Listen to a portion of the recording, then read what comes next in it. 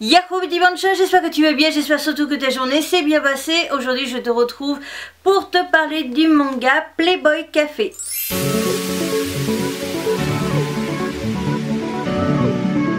Le manga Playboy Café est un manga en 4 tomes des éditions Soleil et c'est un shoujo.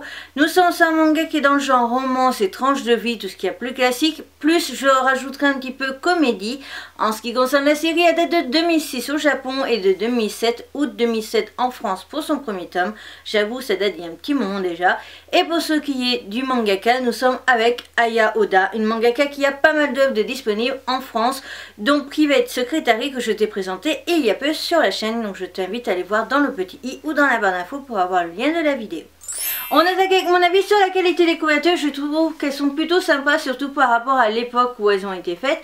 Et pour ce qui est l'illustration du tome 1, j'en suis un petit peu déçue parce que quand on regarde l'âge conseillé pour le manga, je trouve ça un petit peu trop provoquant ce genre de couverture, mais après ça reste quand même soft. Ce que j'aime aussi énormément dans les couvertures, c'est que les trois premiers tomes, on voit les trois personnages clés de la série, et le quatrième tome, on voit nos deux amoureux ensemble, et je trouve ça plutôt chou.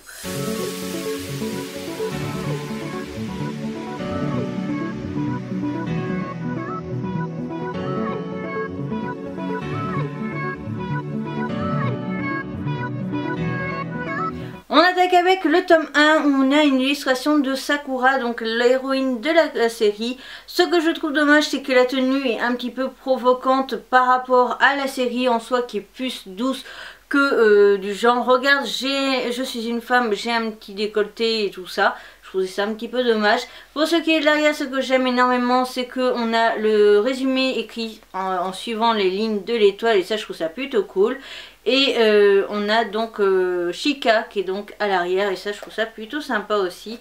Je regarde vite fait, non l'illustration ne se continue pas derrière mais on a toujours l'étoile qui se prolonge. Donc ça c'est un petit peu dommage parce qu'on voit bien qu'il manque un petit bout du visage et je trouve ça un petit peu décevant.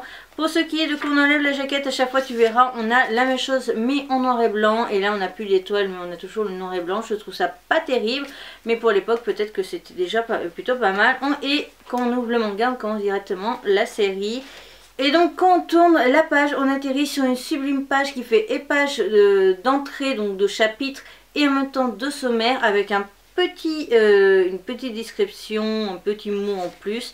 Après on tourne, on a une petite illustration en bas, je trouve ça sans intérêt et on commence directement l'aventure. Quand on attaque avec le tome 2, on suit donc Shika en avance. À l'arrière, on a euh, bien entendu euh, Sakura. On a toujours ce fameux modèle avec les étoiles d'ailleurs qu'on retrouve aussi à l'avant de la jaquette, on les retrouve un peu partout. Quand on, euh, regarde aussi sur les côtés de jaquette, on a ces fameuses étoiles, un mot de l'auteur. Et voilà, on attaque directement le manga quand on l'ouvre avec une page blanche, puis une page d'entrée. Voilà, c'est plutôt sympa.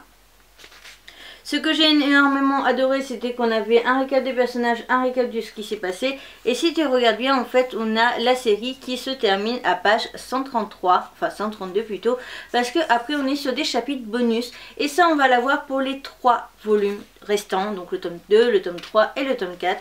Et ça, je trouve ça très très très dommage, parce qu'au final, on n'a pas 4 tomes entiers, mais on a plus 3 tomes entiers et encore donc j'ai trouvé ça plutôt décevant. Ensuite le tome 3 avec Naoki si je ne dis pas de bêtises au niveau du nom. À l'arrière on a euh, en mode beau gosse et un petit peu rebelle etc. Le cuisinier qui est en rouge et euh, le gérant et le tuteur de Shika qui est en vert.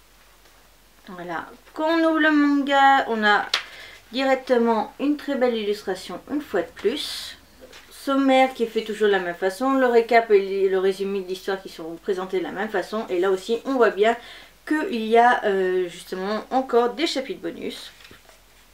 Quand on ouvre, là, on a un dessin qui est, ma foi, je pense que ça doit être un dessin fait par un fan, parce que je vois pas ça autrement. Et on commence directement avec une sublime illustration. Et après, on atteint directement le manga. Pour ce qui est du tome 4, on a cette fois-ci deux personnages à l'avant, j'ai trouvé ça plutôt sympa. Donc on a nos deux amoureux. À l'arrière, on a le chat qui est à l'origine du début de la série. Et on a... Euh, alors c'est pas Naoki, c'est un personnage que l'on rencontre dans ce quatrième tome. Je crois qu'on le voit quasiment que dans le quatrième tome. Et donc euh, bah, j'ai trouvé ça plutôt sympa qu'on ne l'ait pas mis de côté parce qu'au final si on regarde bien toutes les couvertures on a tout le monde. On a deux fois Shika et Sakura au niveau des deux premières jaquettes.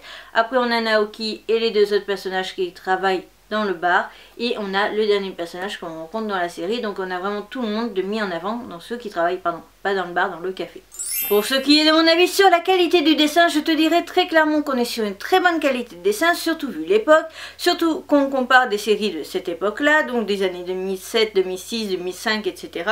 Les années avant 2008, je trouve qu'il y a une qualité de dessin qui est très flagrante, où on reconnaît directement. Pour ce qui est du dessin en soi, je te dirais aussi que, vu que Private Secretary est bien plus ancien que Playboy Café, on voit la différence de qualité de dessin.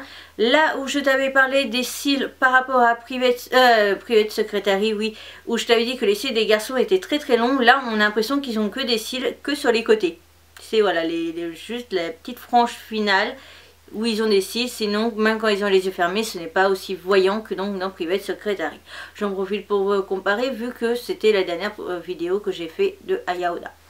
Pour ce qui est du manga, alors sache qu'on va être sur du 10+, mais du 10+, quand même qui te montre quelques petites scènes. Alors, on sait juste qu'ils vont le faire, on sait juste qu'on les voit nus, mais on voit rien de très choquant. Mais voilà, c'est-à-dire que on sait quand même qu'ils le font. Mais bon, il faut prendre en compte aussi que nous suivons les aventures de personnages qui ont quand même 16 ans. Donc je trouve ça à peu près logique et je trouve ça plutôt pas mal parce que par rapport à l'époque et au niveau des titres qui sont sortis à l'époque, je trouve ça marrant d'avoir eu un titre comme ça de Ayaoda où on est avec des jeunes et où il y avait déjà du, la relation charnelle. J'ai l'impression que dans les nouveaux shoujo, on n'a plus trop ça, alors que dans les anciens, moi j'en ai eu plusieurs où il y avait justement des ados qui, qui le faisaient en fait. Et là je me rends compte que maintenant, limite c'est à vous, c'est interdit quoi qu'il fasse. Donc j'ai trouvé ça plutôt pas mal et j'ai bien aimé relire cette lecture. Pour ce qui est du manga, ce que j'aime aussi énormément et ce qui se démarque des autres shoujo par exemple habituels ou que tu vas avoir actuellement, c'est que là on ne les suit pas du tout du tout à l'école très peu. On aperçoit quelques micro-scènes histoire d'eux, mais on, on, les retrouve jamais vraiment à l'école, c'est plus du coup dans le café où ils travaillent tous, où on les retrouve, et ça j'ai trouvé ça plutôt sympa parce que ça permettait de changer un petit peu au niveau du scénario habituel, et ça c'est vraiment quelque chose de très intéressant. Pour ce qui est du manga, par contre je ne vais pas te cacher, il y a donc forcément, euh, alors déjà gros gros gros défaut, mais ça je pense que je n'aurais pas parlé dans la partie juste à avant que au niveau du nombre de pages, et eh ben en fait tu n'as pas 4 volumes, au final tu en as plus que 3. Et ça c'est bien dommage, surtout que en fait l'histoire aurait pu être beaucoup plus travaillée, beaucoup plus développée.